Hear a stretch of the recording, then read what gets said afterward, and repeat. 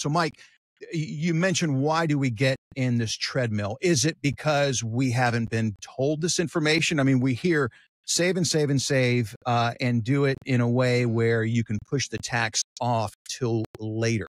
But it seems uh, what you've been telling us for a long time is that when we go to take this money out, once it's grown, hopefully exponentially, we're going to talk about the middle class millionaires because people have done a great job of saving. Then you have to pay the piper uh, and pay the money on that massive amount of wealth that you've accumulated.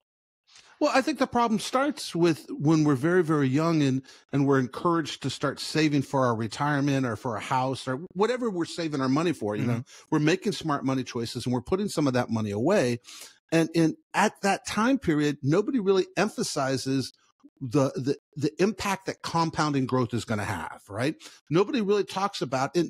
And when you're 25 years old or 30 years old, you can't really envision what your account's going to look like when it's, you know, sure. 500,000 or a million or 2 million or, or, or whatever you've um, managed to, to, put away. We don't really think like that. That's not what we're geared to. For most of us at 25, 30, we're so busy trying to figure out what our profession is going to be, what our career is going to look like, how to raise our families. We're, we're doing all those things that we need to do in order to get to that next part of life.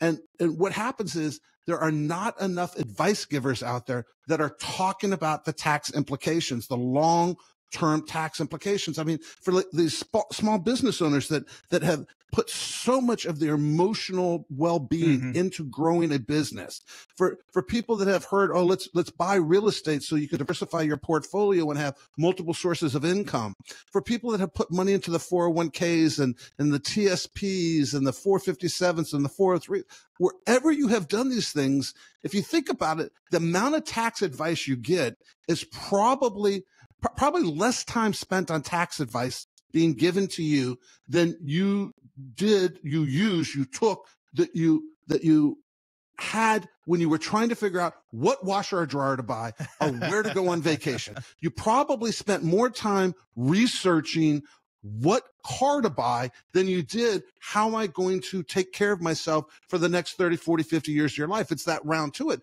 When I get to be 50 or when I get to be 60, all of a sudden, okay, the end is coming closer. I need to start thinking about those things. And now I need to make some serious decisions. And, and, and yes, it, you know, it's never too late, right? You never want to say right. never. But, but the fact is, is the quicker and the earlier you start, uh, my own children, you know, they save in all their, their Roth 401ks, their Roth IRAs. Mm-hmm. That's where their money goes.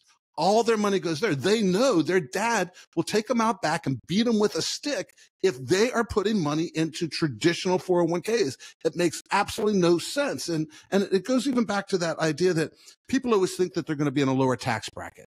Uh, well, first and foremost, why? Why? Why? If you're in a lower tax bracket, that means you have less income. It's not and, and, and, it's not because they lower the tax bracket or because all of a sudden you turn 60 or 70 or 80 and tax, you don't have to pay taxes anymore. The only reason why you go into a lower tax bracket is because you make less money. And who in their right mind, again, you know, nobody volunteered and said, ooh, ooh, ooh, pick me. I want to lose 20 to 30% of my income off the top. Nobody said to me, Hey, hey, I want to lose 40% of my portfolio on average every seven years. And nobody says to themselves, Ooh, I hope I'm making less money when I go into retirement. I hope I'm living on some sort of fixed income that I can't afford all the extras and to maintain my lifestyle. Well, Nobody volunteers for that. That is step off that treadmill. Stop with that philosophy. Stop believing that's what you need to do. Stop believing that that's what your future is going to look like. Take the next step. Give us a call, 866-597-1040, 866-597-1040. Let Ryan, myself, and our team, we will sit down with you and we're going to show you how to create income streams that you will never outlive. We're going to talk to you about how much you're paying in fees, the risk you're taking. We're going to talk to you about long-term care, estate planning, legacy planning, and taxes, taxes, taxes. Everything we do revolves around making sure we're always paying the least amount of taxes legally possible. And just in case you haven't listened to the show before or seen us on a podcast or, or seen on YouTube, just in case you don't know this, 0% tax bracket is absolutely a reasonable tax bracket for you to strive towards. It's a tax bracket that you should believe in. And quite frankly, if you have your, if you have control of it and you can make it happen, 0% taxes is what you should volunteer to pay every single year. Step off that treadmill. Stop giving them 20 to 30% right off the top. Give us a call at 866 597 1040, 866 597 1040.